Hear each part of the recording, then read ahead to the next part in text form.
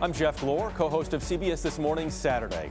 From Antarctica to the UK, we're taking a journey across the globe to highlight some of the environmental issues our world is facing. We begin stateside, where trillions of small plastic pellets known as nurdles have been escaping from petrochemical plants into waterways and oceans for decades. I spoke with a fourth generation fisherwoman and environmental activist in Texas who fought one of the largest plastic manufacturers in the world. While there was a monumental settlement, the problem is not shrinking.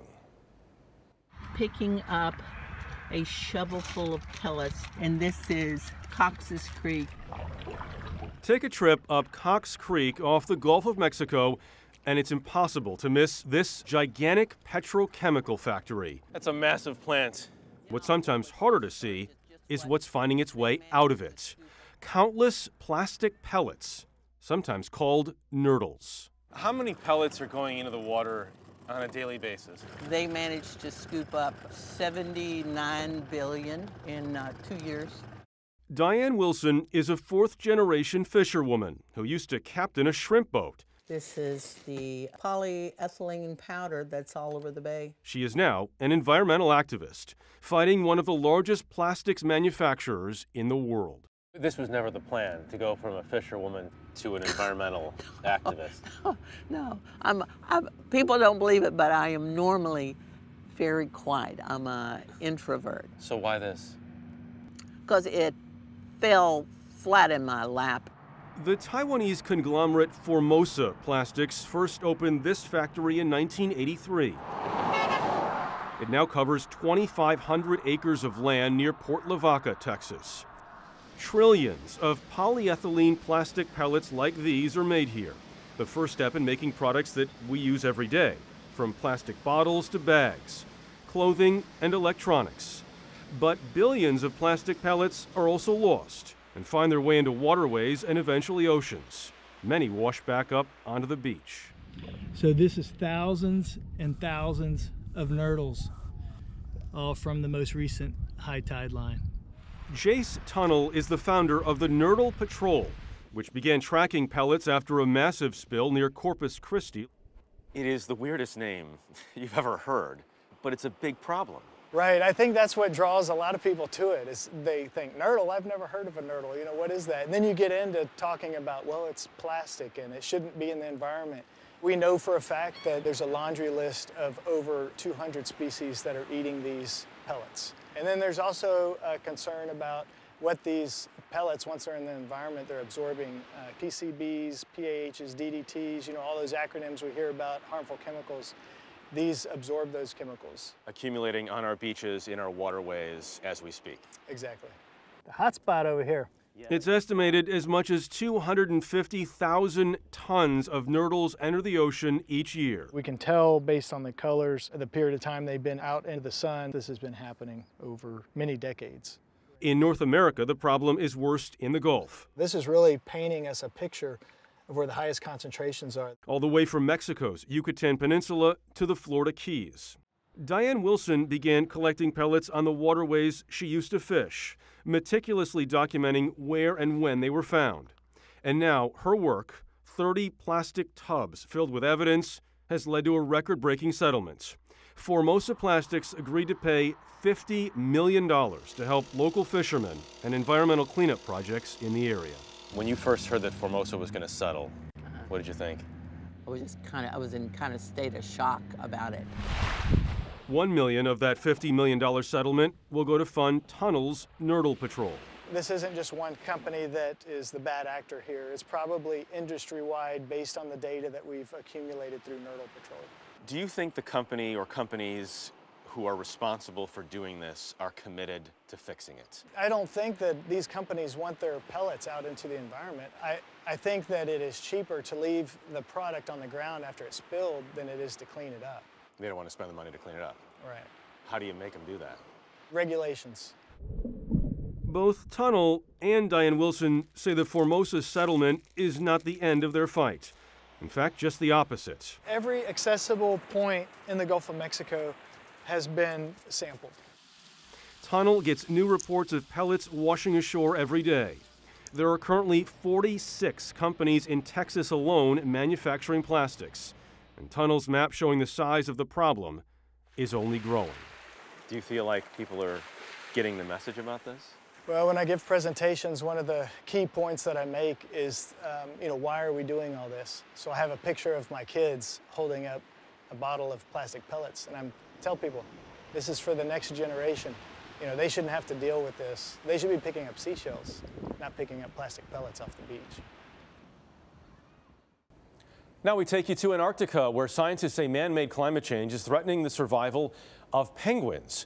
Our correspondent Roxana Saberi traveled three days by ship from Argentina to Elephant Island for a first-hand look. Antarctica is one of the most remote places on the planet, but climate change is hitting it hard. We're here with a group of scientists who want to know how the warming weather is affecting this particular species of penguin, the chinstrap.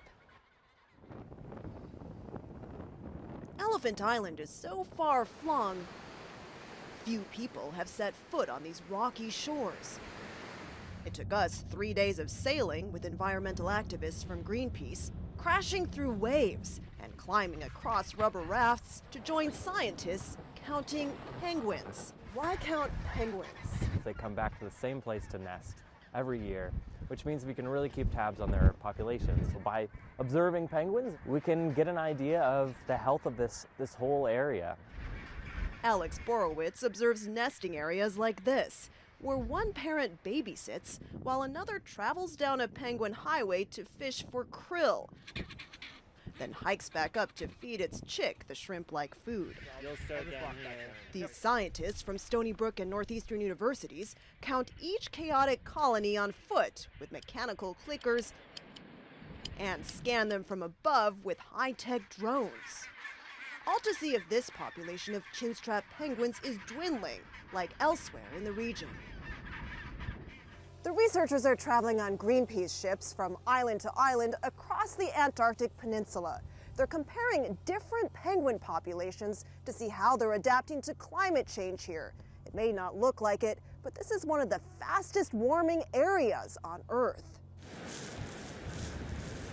One nearby island is actually called Penguin Island. Over the past four decades, its chinstrap population has plunged by 75%. The numbers have dropped across the region as temperatures have soared by more than 5 degrees over 50 years. That's about five times the global average. So when we see climate change impacting things down here, glacial melt, uh, warming oceans, more acidic oceans, penguins do really interact with, with all of those things. So do krill, chinstrap's favorite food. They depend on sea ice to survive. Sea ice is really what, what brings all of the, the ocean life here together. So with less sea ice, there's less krill, so less food for the chinstrap penguins? That's the idea. After days of counting chinstraps on Elephant Island, 21, 22, 22. The scientists invited us onto their ship 32 across. to watch them crunch numbers from one nesting site. Okay. So they've lost already 50% since the early teens. Wow. That's amazing. That fits the pattern they're seeing on the island so far. A decline of around 150,000 chinstraps since the last major survey 50 years ago. Another sign the researchers say this penguin population is collapsing across the region. It's very dramatic to have a wildlife population decline by 50%, an unexploited wildlife population. They're not hunted. And you think climate change is the main reason behind it? I think climate change is driving almost all of the processes down here now in a way that they've never experienced before. Penguins are a lot like people. They need food and a good environment to thrive. These researchers say if the world continues to warm, these birds can show us how other species, even human beings, will be affected by climate change. Last year, we traveled to the Yucatan Peninsula in Mexico, where scientists are trying to figure out why massive waves of seaweed are washing up on beaches. Researchers say it's proving to be an ecological and economical problem with no end in sight. It is the biggest algae bloom in the world. Massive waves of seaweed called sargassum washing up on shore day after day. This beach was just cleaned today. Yes. a couple of hours and the seaweed will be on the beach again. Jose Escalante has owned a small hotel in Tulum, Mexico for eight years. Every day, workers here and up and down the Yucatan Peninsula remove tons and tons of decomposing sargassum from beaches. Every night, it comes back. Rosa Rodriguez Martinez from Mexico's National University is trying to figure out why.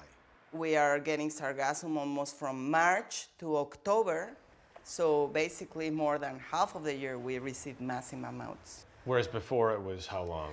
Before maybe two or three weeks during the summer. That's a huge difference. Yes, it's impressive. Uh, impressive is one word for it. A, a, problem, big problem is another. It's a problem, a economical problem, ecological, and uh, probably human health problem also. Since 2011, the amount of sargassum in the Atlantic has increased dramatically. It currently forms a 5,000 mile mass from Africa to the Caribbean. It is estimated to weigh 22 million tons. Why is it so bad right now? I think it's because we have polluted the sea too much. So now we have a lot of nutrients and the algae are taking advantage of it. Fertilizer runoff from Brazil, increased by deforestation, is believed to be the largest fuel source for the sargassum. That, combined with warming ocean water and changing ocean currents, has put the Yucatan squarely in the crosshairs. It has gotten so bad the Mexican Navy has just been put in charge of dealing with this problem. They took us up on a reconnaissance mission to locate the largest sargassum waves. We're fully aware that we're only addressing the effects of sargassum. Rear Admiral Enrique Flores Morado told us the Navy will build new sargassum busting ships to reel in as much as they can. But that does not solve any problem. In reality, the causes have to be addressed. But given the lack of research, we're now implementing immediate actions. Right now, many towns and resort owners are using floating barriers to corral and collect sargassum, including in Puerto Morelos, half an hour south of Cancun. We can say for sure that we are the first destination in the whole Mexican Caribbean with already a control above the sargassum. There's a lot of it though. Yeah, yeah, because this area, we are... It doesn't look controlled. No, no. Hector Tamayo is in charge of tourism here. How many trucks go in and out each day? It's more than 50. More than 50 trucks, yeah. just of sargassum every yeah. day, carted in and out yeah. here. And then we just start mixing that with the sargasso. Some are developing novel ways to use sargassum, including Omar Vasquez, who's building homes with it. They're better than the other bricks. The sargassum is mixed with clay and compost by foot and then compressed into bricks. I mean, it's ironic because I grew up without a house, without a home. Uh, we crossed the border to the States when I was eight years old. And then came back. I came back to live my Mexican dream. Your Mexican dream? Yes. It doesn't have not even a gram of cement. Everything is organic. Even though Vasquez says his homes are 100% organic, there may be an issue with what accumulates in the sargassum at sea. Rosa Rodriguez's latest research shows sargassum is high in heavy metals like lead and arsenic, and disposal is a major issue. This is one of the places we found where the sargassum is taken. It's a dump site miles into the jungle, far away from the ocean. It's unclear if the sargassum left here seeps into the ground, goes up into the air, or just sits here forever. Sargassum is either being dumped inland or buried under the beach, which is illegal. It is a crisis stretching across the Caribbean with no end in sight. For folks watching this who may not be familiar with this problem or what's mm-hmm. happening here, mm-hmm. what do you say? It's something that is happening to the world, not, not just to the region. This is just a consequence of the entire planet being, you know, in, in trouble.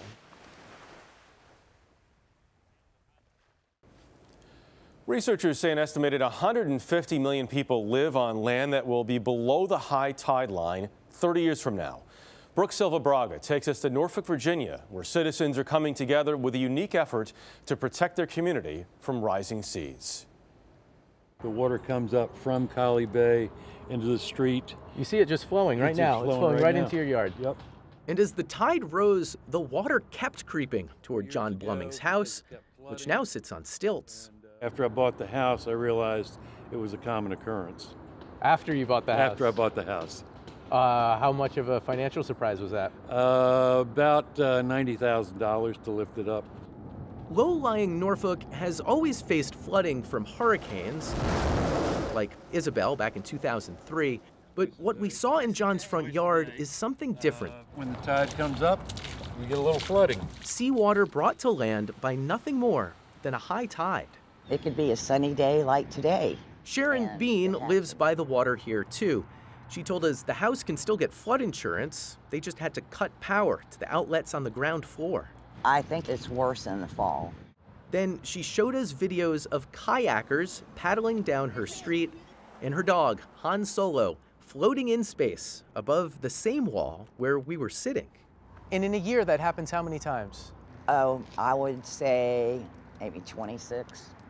26 times? Yes. It's up here all the time. It, it's a lot.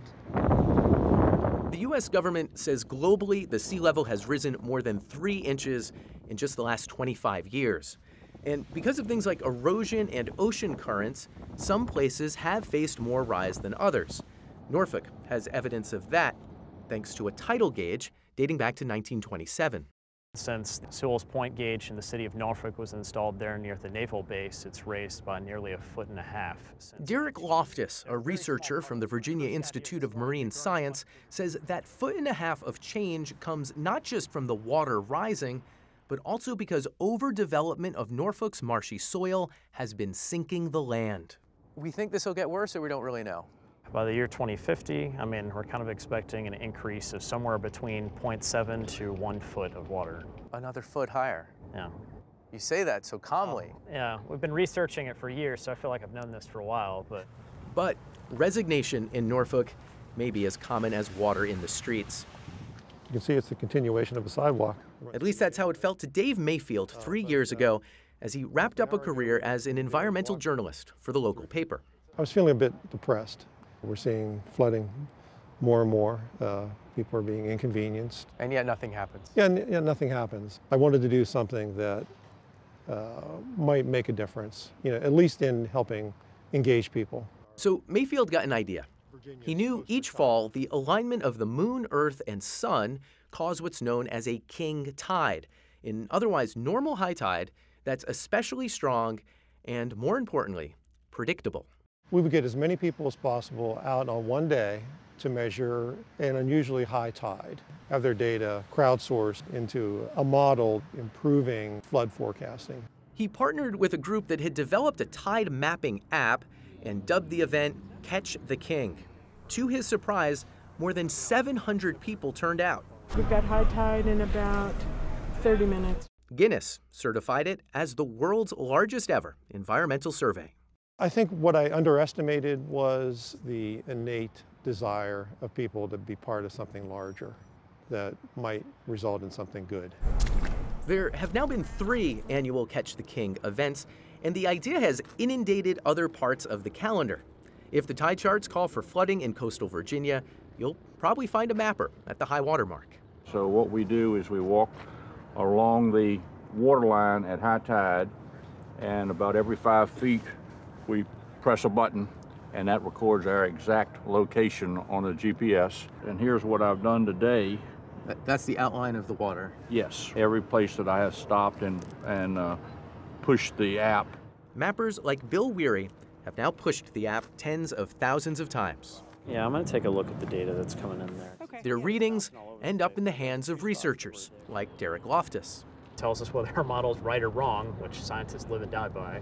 Also, what's particularly useful is it helps us find areas for potential improvement. For example, most of the flooding you'll see today is due to storm drainage systems. And as Mayfield hoped, more than anything, it's given ordinary people a way to do something about a problem no one person can do much about. Although we can't stop the tides, eventually some sort of uh, preventative uh, action uh, is going to be, well, it is needed. And the more and more data that scientists have, I think the better we'll be able to uh, prevent the tide uh, from causing harm to the neighborhood. Uh, may it all come out of uh, what we're doing.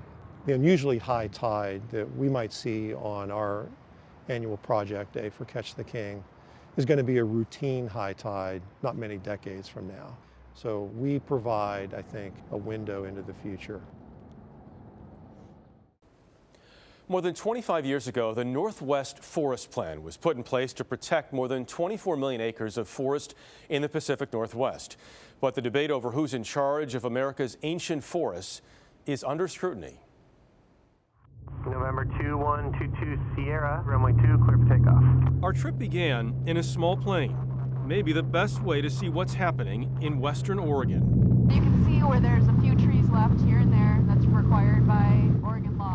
Our guide, Chandra LeGue of the group Oregon Wild. So we're actually really in the heart of some serious logging right now. The views from overhead can be jarring. Mountains teeming with towering trees, followed by winding cutouts of nothing but stumps. This is what modern day clear cutting looks like. Giant machines handle massive trees like matchsticks. This land has never been logged. No, it hasn't. This is a place where none of that has happened a so called old growth forest. We only have about 15% of the forest that once grew trees like this that are left. Areas like this were protected by the Northwest Forest Plan, which was signed in 1994 and impacted more than 24 million acres of federal land in Oregon, California, and Washington. Was the Northwest Forest Plan a success or failure? From an environmental perspective, it's a success, but um, we're only 25 years in. It's kind of a long term experiment. Logging on federal lands has dropped by as much as 90%. But on state owned and private land, time lapse of satellite images over northwest Oregon give a sense of just how common clear cutting still is. LeGue says it has a lasting impact. Forests capture carbon, helping to cool the earth and slow climate change. Logging companies are required by law to replant new trees after clear cuts. But it can take a decade or more before a young forest absorbs as much carbon as an old one. Not every company like yours is willing to talk about their story or take us to places like this. Why, why do you do that? I think we as an industry have not done a very good job historically of telling our story. Todd Payne is the CEO of Seneca Jones, a timber giant in western Oregon. Has the Northwest Forest Plan been a success or failure in your estimation? Honestly speaking, I think it's, it was a failure. Payne believes the Northwest Forest Plan is choking growth, and the hands off approach environmentalists advocate is leading to more wildfires because forests have been neglected. He took us to one of Seneca's expansive tree farms an hour and a half outside Eugene, where they operate on 50 year cycles. This area next to us was clear cut about 55 years ago for the first time, and then clear cut again three or four years ago. Three years ago, correct. Why clear cut? We're mimicking what uh, Mother Nature's done for, for billions of years. But this looks traumatic for a lot of people when they see something like this. Um, I actually look at it quite different. I think it's, it's somewhat aesthetically pleasing. You think that looks aesthetically pleasing? I do. And maybe it's uh, somewhat biased, but uh, uh, I look at this and, and I, I see sustainability, rejuvenation. Timber companies have also traditionally used a practice called aerial spraying. Chemicals dropped via helicopter to kill any vegetation other than trees used for lumber. A lot of people are concerned about the spraying. Well, I think people are just not informed well on that subject. Um, we use it once or twice in a 50 year cycle. It ultimately flows somewhere, though. No, it doesn't. Now, a lot of times, this stuff doesn't flow off the landscape. The product will adhere to the vegetation that it's targeted for and stay there. Nancy Webster, who lives up the coast in Rockaway Beach, Oregon, is worried those chemicals seep into her drinking water. The fight between environmentalists and, and logging companies is not new, but this seems like the newest chapter.